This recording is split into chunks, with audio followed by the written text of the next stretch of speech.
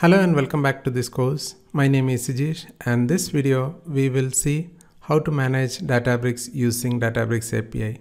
There are multiple ways to connect to Databricks. One is obviously using this Databricks portal and we can use uh, the API for managing, uh, I mean modifying the configuration etc. So uh, we can uh, go to Google and uh, type uh, Databricks API and uh, see this API reference guide.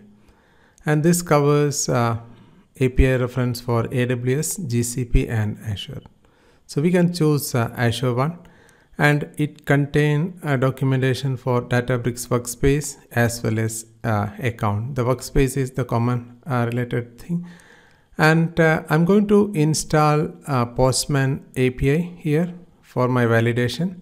So we can download that uh, by using uh, your favorite browser. Just uh, type uh, download Postman. So this is a straightforward process and you can download it and depending on your operating system, you can choose that the one. once it's downloaded, go ahead and install this. Okay and either you can log in with your credential or there is another option uh, to choose a lightweight API client. So that doesn't require a login.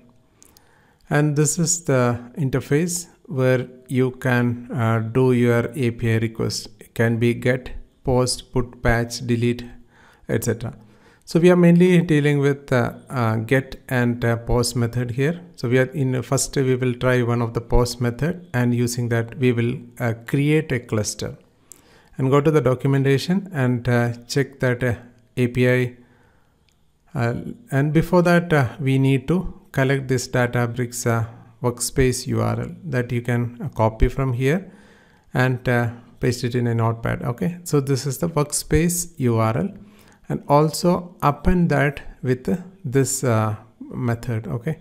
So this is what uh, we need to use in our um, URL section in Postman just copy this and paste it inside this postman okay? So that is a url we need to use. The next is uh, for um, authorization. So for, we need to generate a, a databricks personal access token. Go to the settings then uh, developer where uh, we have option to create access token. So select this manage and then create a token so add some comment in the description, just uh, training API.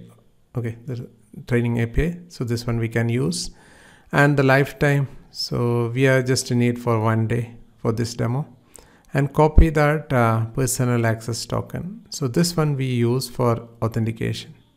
Okay. So just uh, uh make a note of this and uh, here go to the authorization part and uh, use bearer token and the token against that token use this value okay? And the next is under the body so we need to pass certain value select this row and uh, text form. And go back to the documentation and uh, just uh, back to the documentation and uh, uh, we can we can go back to that API documentation and uh, select this JSON file. So this is this one is used for deploying or creating a new Databricks cluster. And that is the name of the cluster. And the remaining parameters are there. So most of them are self-explanatory. Let's just copy this content and paste it inside this uh, body uh, section. And uh, so before that let's just confirm any cluster is already there. No we don't have anything it's a completely brand new setup and uh, no other clusters. And go ahead and send this okay? So this will try to create uh, but unfortunately we got some error message invalid parameter value. The node type is not supported okay? The one which we have is i3x large which is not supported and the supported type is showing. Let's just choose one of the supported uh, option and go to the body and change that uh, node type uh, from i3 x large to so whatever the version it support. Okay. Then once this is updated then uh, we can again do this. Okay. But again uh, we are getting one more error message.